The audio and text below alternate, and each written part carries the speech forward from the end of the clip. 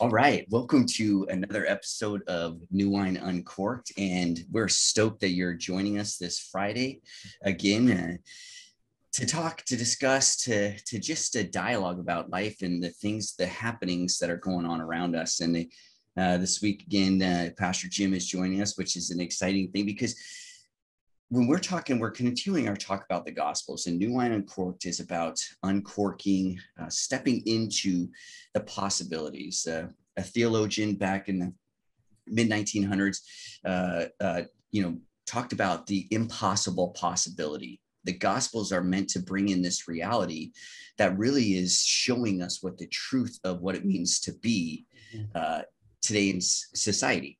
But as if you've lived you know any kind of years within adulthood you know that there are many forces that are pressing into who am i who am i as a person identity uh, and especially too today with the olympics which is exciting part we get to see these athletes and uh, performances some of the, the sports like uh, my family and i got a chance to watch uh, handball of all sports. Like it is a crazy sport, right? And so the Olympics are this. Uh, we see these athletes doing some of the the, the highest number uh, uh, level of of athletics, right?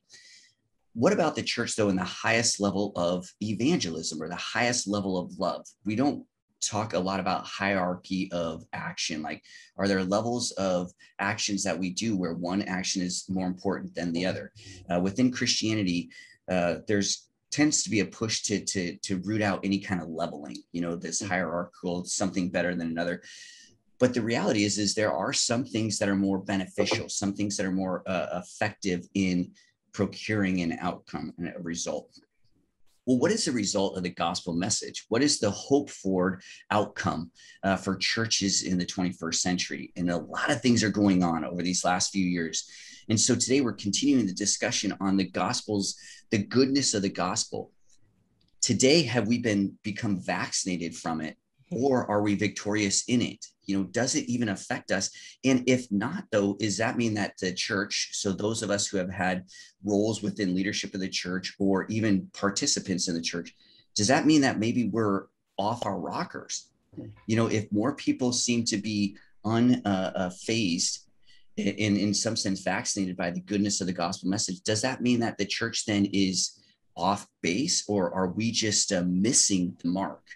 Um, and so that's what we're continuing today. And so it's a big week. I don't know if the two of you are at all into Olympics and things like this, but I feel like for the church, every like weekend, every year is an Olympic year where people are waiting for big things to see. And it seems like you know i look around the internet and the big things from the church are just scandal and abuse and abuse of power and so it's no wonder that people question they when they hear us say oh what's so good about the good news they they nod their head and say yeah what do you mean by the good news i hear the gospels are good news but for what i don't know what your your take is you know 21st century here we're we're new month in a couple of days are, am I off, or is there is there a lacking of goodness from the gospel message in the 21st century today? Hmm. I wouldn't probably use the word vaccinated to the, to the gospel, but I would use the word inoculated to the gospel. Okay, all right, all right. In, in America, most of us have been to some level or whatnot. We've been exposed to church in somehow or another, and even have at least enough in the back of our minds that we can create stereotypes, no matter how distant or near we are to the church. And so, yeah, when someone comes and brings the gospel to you and say, "Hey, you know, I have some good news," all right, man, what you trying to sell? all right. There's some type of buildup as to what they're expecting and what they what they expect to hear or it's even even worse where they've been hurt by christians in the past. So there's been some exposure from most people to the gospel. So so it does make it in a way that it's kind of good news to us but we have to work hard to make it good news to others. So yeah, mm-hmm. yeah. you know and, and I agree, Philip. And the question is, is how do you do that, right? I mean, is it only done with words? Is it done with language, or you know, or is it, um, you know, the whole idea of what, um, you know, orthopraxy, right? Practicing, right. living it out, you know, living it out. And so, I heard an auntie say one time when the missionaries came to Hawaii, they, I mean, they love to hear about Jesus. I mean, they love the gospel. Um, it broke down, but her comment was, you know, if they would have lived like Jesus, it would have gone a whole lot better.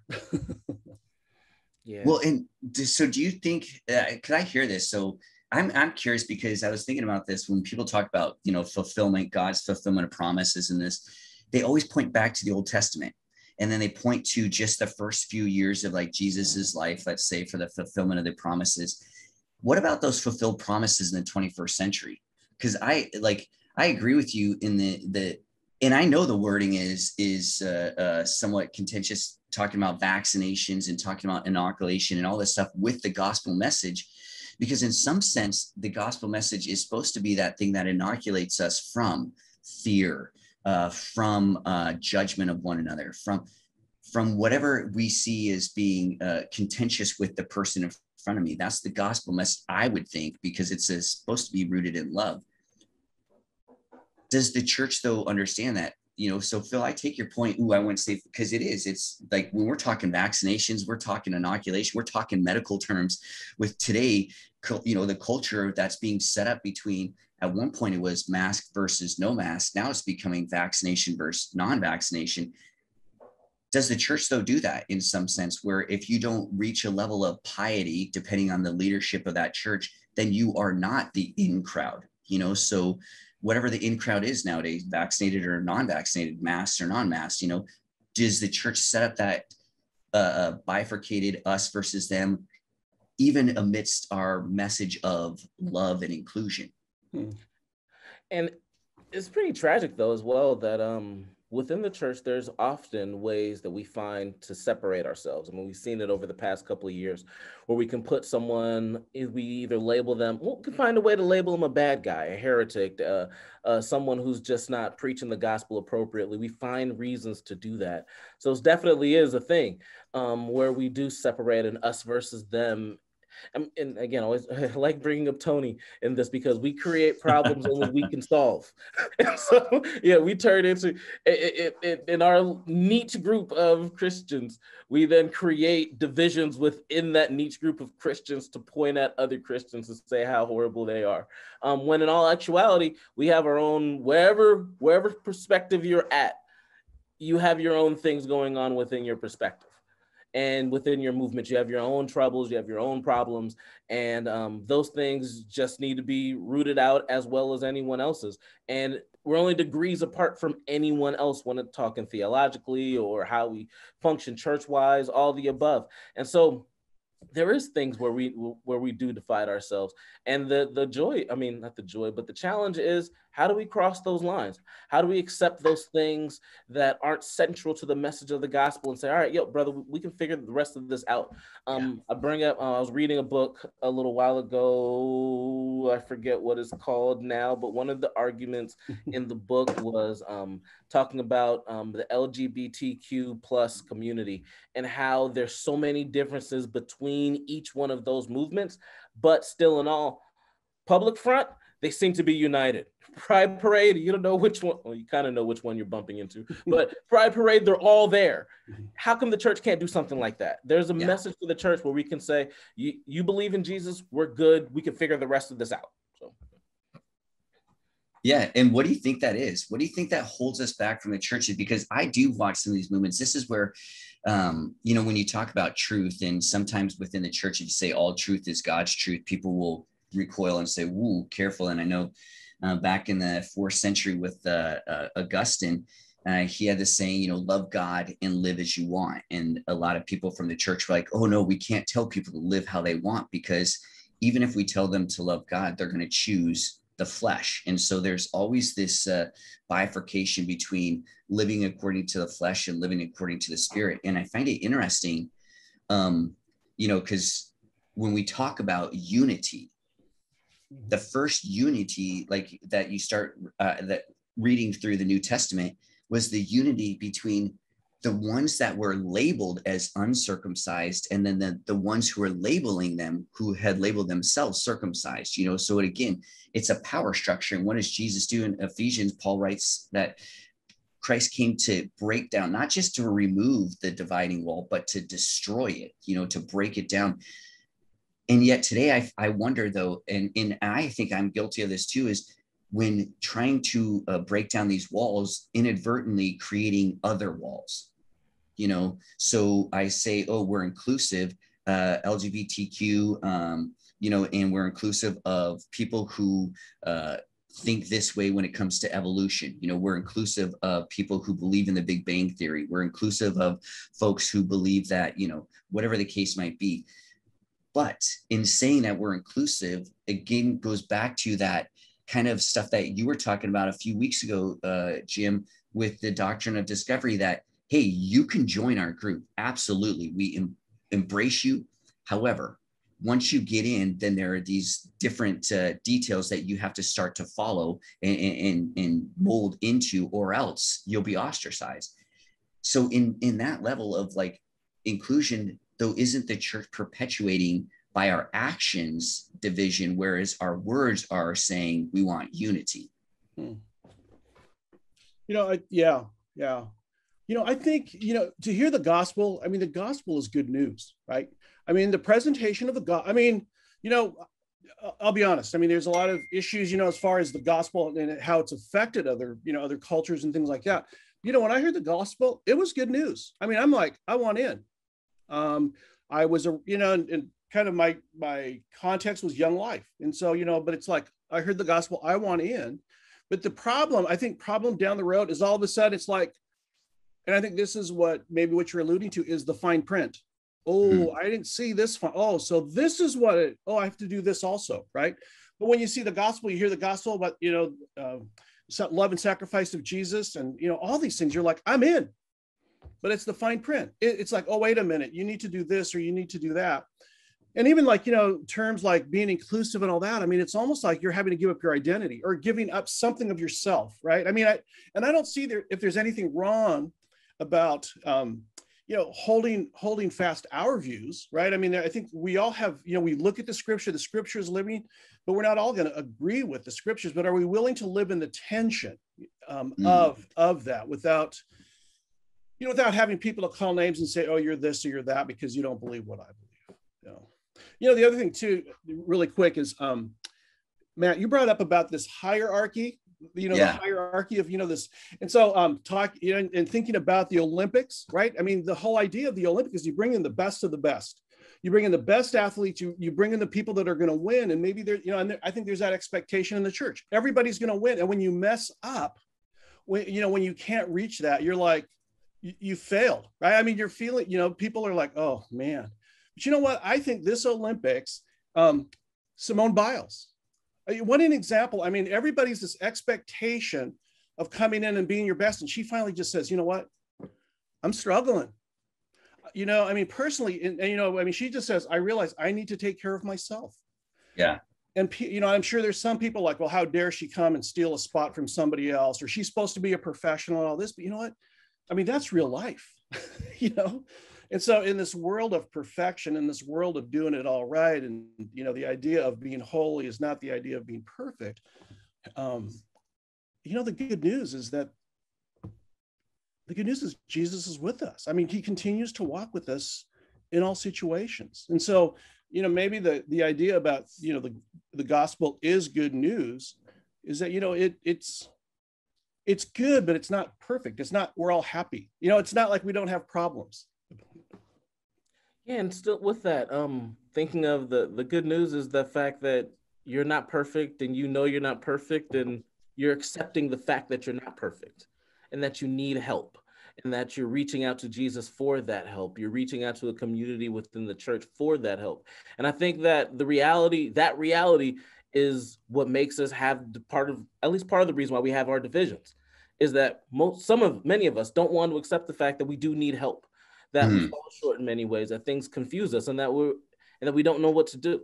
And then we latch onto something, we latch onto a phrase in the text, in context or out of context, whatever. We latch onto something in the text and we build an entire movement on it, and it ends up being a thing that hurts people. It ends up being a thing that creates more division and creates more pain when we're really just trying to live into the gospel, but we're trying to bring into the gospel our hurts and the like and not live into the full power of the Holy Spirit. So yeah, we're afraid of getting like, if we, we don't get a nine, if we get like a 7.3 on something, man, we're like freaking out.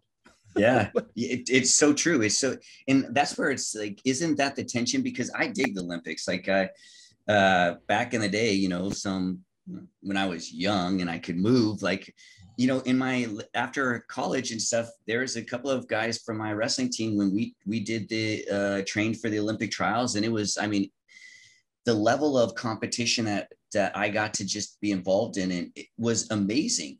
But there was a point where it was life consuming. You know, uh, my wife and I were um, we just had our our first uh, child when I was started the the trials and stuff and uh, training for it, and it's a lifestyle. And so I I agree with you, uh, Jim, in the sense that it's cool when you see um, an athlete like pause. There's a tension there, though, right? Because do, do you think though on a daily basis that the rest of us though have those same kind of tensions though that we don't and then that because we're not doing olympic size events then our depression or our doubts or anything aren't as um, profound. They're not as viable they're not as real. And so people so I, I wonder too like with some of the the backlashes people are like well that's great that you can step aside from but what about me? And i wonder if that's the the absence of the church, you know, is that while I agree with you, it, the God, there's something good about the gospels, and sometimes you can't even. Uh, there's this song uh, that Lil Wayne has. I think it's "Running" or "Paradise" or something. What one of the lyrics he says is, "I can't tell you, but I can show you." You know, and so it's like you have to show love, um, and it's not about doing. Yeah. But in showing love, you show it both in word and deed. And I just wonder sometimes, though, when we talk about the good news, I believe it you believe it phil you believe it we i know because our lives have been radically altered since that moment and we've made more and more decisions to go further into what the goodness is calling us into it's not about a message it's about a person you know oh. and that person jesus then steps into us and says actually you are a person you know and, and so I I dig the Olympics. I like the level of it, but sometimes I wonder though if it then stretches us and causes us because then we're saying, oh, to be the best, you have to be on the podium right? Yeah. Uh, like some of the uh, uh, argument that i got I, I was reading you know online is just gnarly when you start reading like but from the uh, i don't know if you remember the athlete um, from the trials who she um, i think she smoked marijuana and then got disqualified. And there were people like going off on like well look you, you know what you're you're getting into. I mean come on you're trying for the olympics and they don't understand that the the the gravity of everything involved you know and so then we we elevate these poor athletes and no matter what they can never live up to the standard because like you're saying within the church even though we might say it you're not going to need to be perfect we take that be perfect as your father in heaven is perfect and we say oh well perfection mm-hmm. without understanding yes but see the human perfection is different in the sense of Jesus allows that perfection to be a process where our perfection really starts within the heart, right? Yeah. He wants us to perfect that love, like, uh, and it's an acceptance. And I don't know how many Christians skip that phrase, the, the, the, the process of love of self, you know, mm-hmm. because we, we talk so much about selfishness and narcissism and the Olympics, it does sort of bring that up because it's all about, you know, the winner and the second place is you know the first loser is what we used to say like such not loving language we have in in sports. As a coach some of the things i said i'm like ah! But with that push towards excellent though how do you then tell people or show people within the church actually we want to push the excellence of love where yes we want excellence in our actions whether it's sports or education or business but ultimately it has to be rooted in love how do we teach people that when I myself struggle with what it means to love myself, you know, in in a in a in a righteous way? Yeah. Oh man. So many answers with that one. Um, That's why I come to YouTube. You know, every Friday it's my my session. I just sit here. I feel like I should be laying down. I don't even know if I have not really answered responses. Um, but I think being honest about that tension, Jim brought up earlier, living in the tension understanding, yeah, there's there's stuff that that's stuff that we're wrestling with that we're still learning how to do, but we understand part of the call is to love. Part of the call is to be there for people. Part of the call is to show through our actions that the Holy Spirit is living and active in our lives. Um, but being aware of the tensions that we have, but still not using those things as excuses not to love. It, be, it becomes a thing. Um, that becomes a thing. But also, um, we we have a we have a um within the church we have our own celebrity culture. We have our own rock star culture. We have our own put the best on the podium and rank them one two and three. And um sometimes grabbing the four five and six and saying all right you're going to take the role of one two and three or the one two and three taking a step down saying oh i'm going to use the the the the privilege i've been given through being one two and three to promote um, numbers 199 and 98 you know and you and share and using that way um, and promoting things that way there, there's there's ways we can do it but i think we live into so much of the celebrity culture that is it's very difficult to not think that you always have the right answers especially when people are coming to you looking for answers on issues that that you have answers to or not and you have to have something to say and it's like nah you, you don't have to have something to say just say, I, I don't know. This one I'm, I'm still wrestling with. Here's my tension that I'm living in between. But I don't know. I'm sitting with the same confusion you're in. Let's seek the Holy Spirit on this and, and roll with with what we feel the Holy Spirit saying here. So, yeah. You know, the the other part of like the whole Olympic story, right, is that you know you talk about that we have the podiums, the one, two, and the three. But you know what though? I mean, some of the stories, some of the best stories aren't the winner stories, right? But it's the stories about the people that um, you know, I mean, I remember stories about the guy that ran the marathon and he finished last, and there was only, you know, half the people in the stadium and it was after dark. But I mean, this guy's just struggling over the line and people are just cheering him on. And, you know, and, and those are the type of stories, you know, we share as um, illustrations, right? I mean, those are like the sermon illustrations. But, you know, maybe it's, and, and, you know, we wouldn't have known about that story, but there was somebody that was running a camera. There was somebody there that, that thought enough to say, you know what, this this is significant and they and they point that out because we would never hear the story and maybe the answer or i don't know if the answer is but maybe what would help is that you know there i agree there is such a celebrity you know right? The celebrity. And i think sometimes we've uh, leading in ministry in, in, the areas we're in we're there's a celebrityism. I mean there, we're looked as celebrities and we don't want that right? But i mean i think maybe it's being the person that points out the stories that are behind the scene. There's a woman in our church. I mean she just um, and I don't say, oh yeah, she's always struggling financially, but she don't, she she just does what she does, but she always is able to gift kids. She just, you know, and so being able to point those stories out, saying, you know what, generosity isn't just necessarily how much you have, you know, and spending a lot, but you know, Diane, Diane is has a, a way of just blessing kids with these with these significant gifts, you know, and she'll go to like Dollar Tree or whatever, but maybe it's pointing out, you know, the story um, that's sitting among the congregation. It's the stories that maybe, I mean, it, maybe it's just listening better. Um, but I think it's pointing out those type of heroic stories that people are like, and then, you know, you know, and people are like, oh, I like that. But I think what makes these stories so awesome, it's like, you know what? I'm the guy that's going to be coming in last place. I, I, am the guy that I hope somebody will leave the light on so I can at least see where the finish line is. And so there's something that resonates. And, you know, we talk about gospel and, you know, just being what this incredible you know, pietistic Christian, right? But really, we're the people that are coming in last place, and we just want to know, oh man, I you know I can gain you know uh, inspiration from that, and so. And yeah, all of us can. And and the interesting thing that that that bring up with yours is um is the fact that you can name people in your church that has those kind of stories. Yeah. see, Phil, you could see, Phil, you've got like the breath. You could say, Matt was a wrestler, and that guy, he is on the podium. Right. my right. buddy Jim Sakara, who I mean, he likes to eat spam musubi, and man, he's like going, he loves these all you can eat places. He's like running a marathon, but the dude, he's coming in three days later. But you know what? He finished. That's it. That's it. But the fact that that we can breaking down the celebrity culture in a way that allows your pastor just to wander through the church and know people within the congregation. Jim, you do it. I'm thinking of um, I'm thinking of um, Tom Shive, another one. I seen him wander around. I saw him wander around a women's retreat. Well, we were having a new wines retreat, and then they were having at the same location. They were having, I believe, a women's retreat at the same location.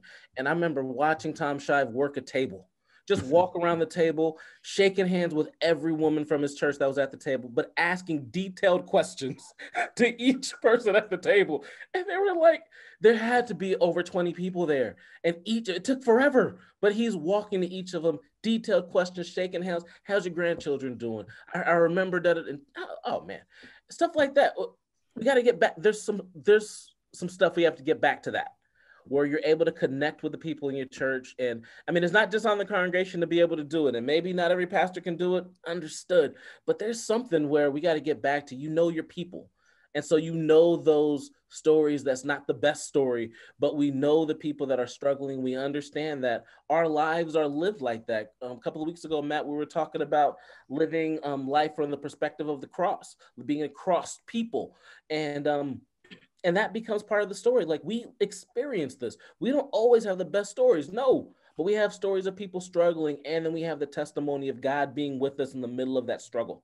And we can clearly know that it's God's presence that's there. And so it's not always the winners that show that this is God with us. No, God is with us all the time, every space we're in.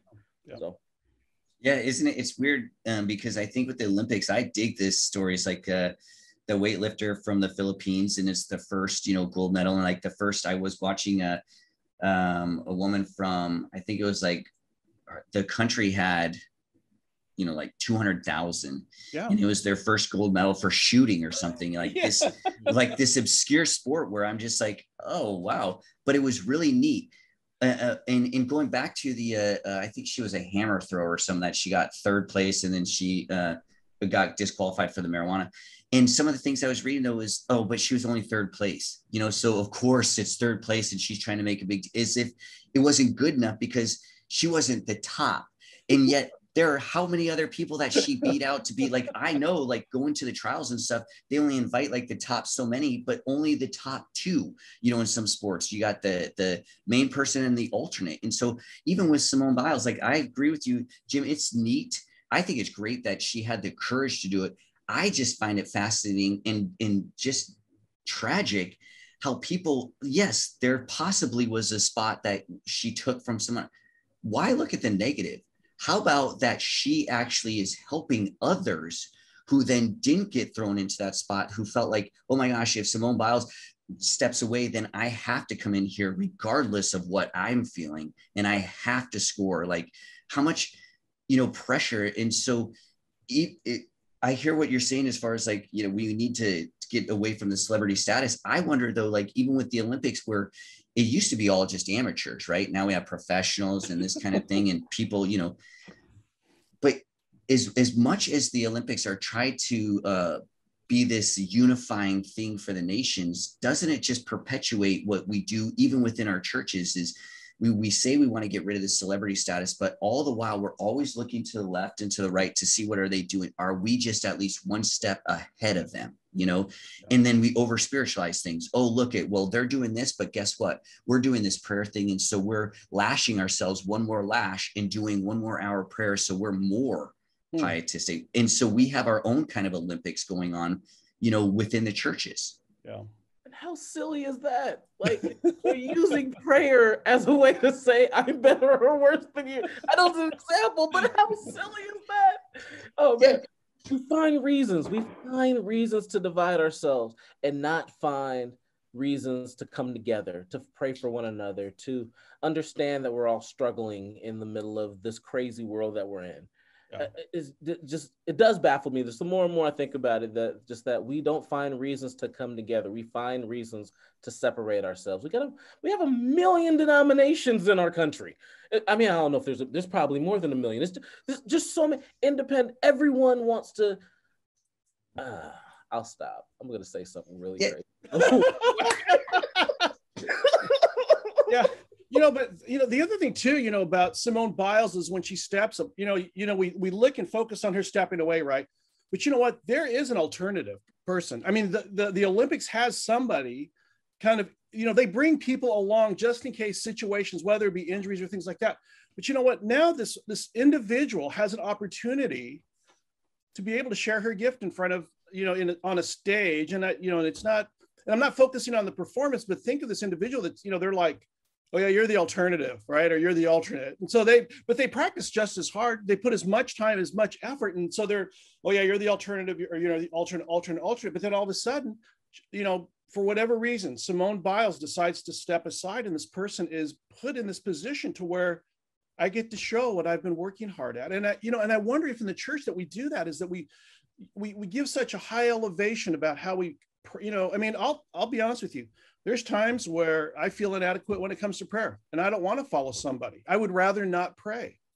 Um, but you know, when when people are given that opportunity, or maybe when that celebrity is off the stage, it opens the doors for people that have a gift, the people that have been, you know, exercising their, or using their gift, but haven't had that opportunity within the body, right?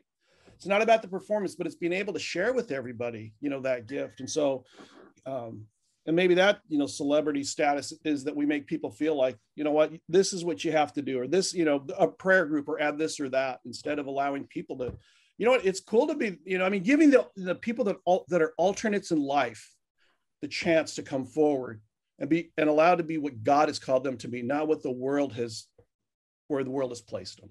Yeah. I mean, and I th- I believe that Simone started as an alternate in her own Olympics uh, uh, career as well. So it is interesting, and and it, it's the language, right? The language is is that yes, there are alternates. I mean, that's what uh, Paul highlights in Ephesians that the uncircumcised in some sense were the alternates that then but it's not as if they're replacing anyone right? Like the alternate is able to come alongside the person who was slated to be in that position. And this is the truth of the church i think is so often lost is we're not seeing it. We see like some are going to see what happened with simone is is um as a negative as if she lost out or whatever, as opposed to seeing it as a positive aspect of really coming into understanding who she is. And we should be embracing this and then embracing the fact that, dude, because you're willing to reach out and, and allow us to step into your hurt, right? I mean, it, that's that's sometimes I think we forget that when someone is being vulnerable and they're willing to be authentic with who they are, that there's a gift to us because they're opening themselves up and they're actually, you know, what, and I don't know where she is with the faith or any of the, the gymnasts, but this is the Christian like truth is that you're supposed to become less you know so so by by her stepping forward and saying i actually am in need she's acknowledging where she has to become less of her you know less less me and more of jesus where there's like a, a, a, creating space within ourselves so as to receive mm-hmm. you know your help your wisdom your whatever you're going to do if, if it's nothing more than to receive your presence you know and so i wonder sometimes too if in all of this a lot of people understand where simone is like I, I would imagine that 99% of us go when we first hear it our things are Oh, totally. And then we get selfish and say, gosh, it would be nice if I could do that, right? Like that selfishness kicks in. It's so interesting. Um, if you go through like this idea of self-reference, right? Like we become the self so that no matter what, and and so that's where I'm saying is like I sometimes wonder though. So vaccination is supposed to keep you from getting Uh, uh, uh, the virus or or something from a, a virus, right? So that's why I use that word because sometimes we use the gospel though to vaccinate ourselves from the, the the the, bacteria or whatever that we see from society, right? Instead of like you were talking about, Phil, with the cross, stepping into the victory of the cross that says, what does Jesus say? Don't worry about this society. Don't worry about they can't hurt you. It's the one who can take your soul, the one who can keep you, you know, that makes you to really believe that there is no God. You know, to go with Nietzsche and say God is dead to actually go, oh yeah, you know what? I think God is dead. Like I can be my own God, right? so that's where I, I wonder if do we vaccinate ourselves from because stepping into relationship sometimes is tough. Well, all the time, being in relationship with each other because I know I'm not I'm not, you know, a, a, a, a, peach cobbler that's sweet all the time. You know, like I, I can have some some tartness to me and some bitterness that when you, when we all hang out, you're like, dude, seriously, and I'm supposed to love you, right? Like, so like I I wonder though if with the church we're just not even honest with ourselves. Like I love relationality. I love my my marriage, my wife, my kids, but sometimes guess what? They're irritating. And so am I. So how do we deal with that authenticity without being um you know uh, uh kind of like so selfish though where you know how when people they they they use humility but it's really just pointing back to themselves and trying you know oh but i'm so good yeah so how do we get into that realness yeah but the example we've been using Simone Biles this whole time is, is kind of it, where uh, just be honest about where you are. Mm. Just be honest. Don't, you know, I was listening to um oh man um um Dale Dale Jr. Oh. Ooh, is that the racer? Um, lost mm-hmm. his his father. Yeah. Lost his oh yeah. Dale Earnhardt. Yeah. Yeah. Junior. And so um Junior is sharing how um there's times, especially around the time where his father, where his father died, where he didn't feel like he had it, but he did it anyway. And then after, and then here's the thing he said, after the race, he would tell the coach and the like there that he didn't have it that day, and the coach would be like, "Well, that was obvious. you know, we can all tell that you weren't here." So, so it's all just being authentic about where we are, living in the tension, being aware of our. Well, that guess maybe that's another big thing. Are we aware of even the tensions that's within within us? Mm. Are we mm. aware of the fact when we don't mm. have it, and can we say to people, "Well, today I, I, I ain't got it," you know, and, and and in an environment that's able to allow you to say, all right, well, we got your back. We'll figure this out. Um, especially and especially in a celebrity culture, the more and more of the celebrity that you are, the less and less you're able to be authentic and honest about where what you're actually feeling. You have to have that smile. You have to keep your edge, whatever your edge is. You have to keep your edge, and um, yeah, just being authentic about where we are, what do we feel, and just and just say, sharing those feelings and, and rolling from there. So. Wow. Yeah.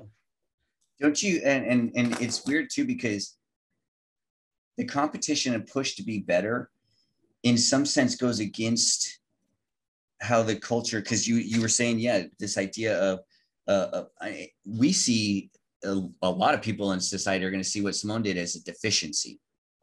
Um, because we go to such an extreme. I mean, if you remember, and and now because I dig uh, watching the Tour de France because, dude, I, I don't know if you've ever been on a bike seat for more than a few minutes, you know, and those guys are they're, they're, the men and women doing that tour and even the cycling in the Olympics, if you haven't gotten a chance to watch it, but and they're on there for hours, right? And so, but the push to win, think about it in sports, you know, uh, the, the Tour de France was, it has been hampered with blood doping and you have baseball with the steroids and the, you know, and, and NFL and all these things. And the push to win, to be the best. And we've seen that within the church. Uh, I just think about, I was watching a podcast that one of our new wine leaders uh, highlighted on the Mars Hill stuff.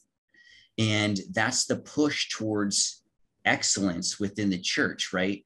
It seems to lead to oppression and abuse. And how do we get from where Paul says, I strove to be the best of all the apostles, you know, and, and yet not I, but by the grace of God. How do we get that mentality of pushing into excellence to be the best that God created me to be?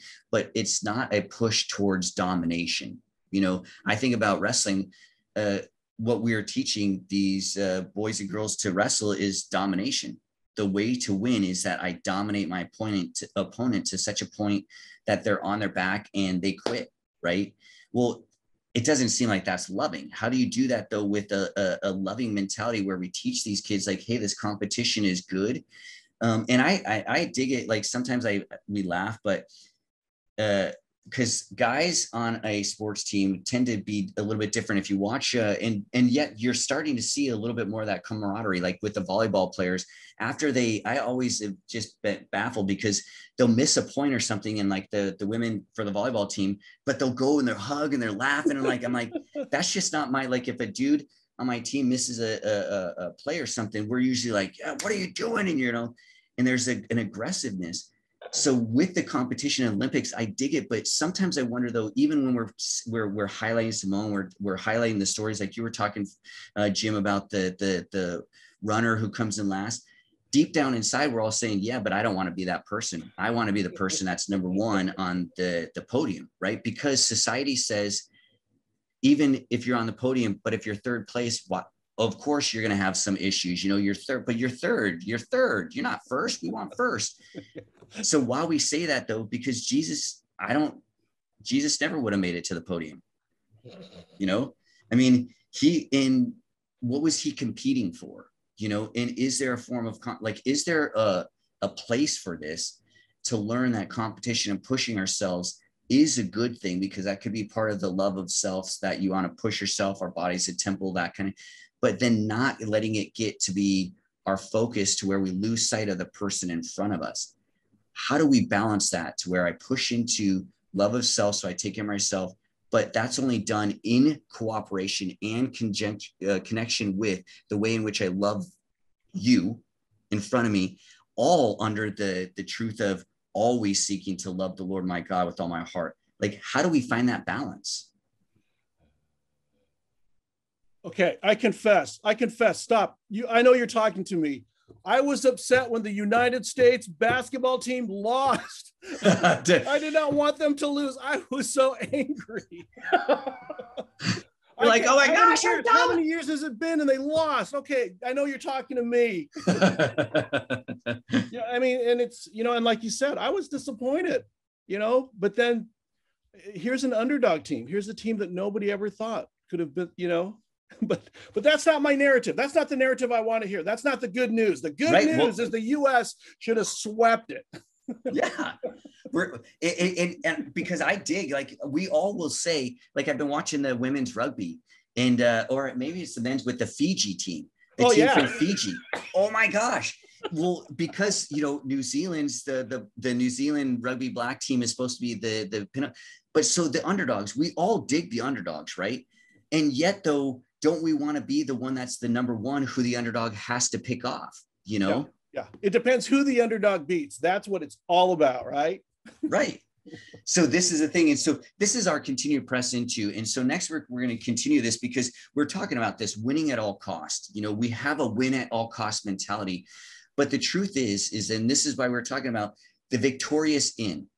Mm. The win at all cost has already been done and that was done by Jesus. We don't need to win at all costs because Jesus did it on our behalf. He becomes sin so that we can do what? We can live, you know, freely. So what does that mean? So as we continue to press into this, we're going to continue this dialogue uh, next Friday too on well, what does it mean to be a Christian in the 21st century? We have the goodness of the Gospels. Okay, so is it okay though in a culture that pushes for the top seat on the podium? Is it okay to be less than? Is it okay to be vulnerable? Is it okay to show weakness in a culture that is all about uh, up and up and up? And so we're going to do that, continue this conversation dialogue. It's been awesome. This is Friday. We're hoping that this is the start of just a beautiful weekend for every single one of you. Uh, let your friends know that we're going to continue this conversation. You could go to our YouTube page right now uh, at other times and just hit the subscribe button right below and then hit that uh, little bell right there next to the subscribe that's notifications and that'll let you know every time that new wine tastings which is another video a program that we do with Dr. Metzger, as well as uh, we're going to start up. We've been talking about this, and as this summer starts to end and school sessions start again, we're going to start up our New Wine Table Talks, which is a live uh, online Facebook uh, community discussion that we'll be doing, and then also uh, New Wine Uncorked Fridays at 10 a.m. And we're going to continue this, pressing into the kingdom so that we can be what we are created to be lovers of God and lovers of one another. And so thanks again for joining us, uh, New Wine Uncorked. On behalf of Phil and Jim, I'm Matt. We'll see you on the flip side. Have a good one.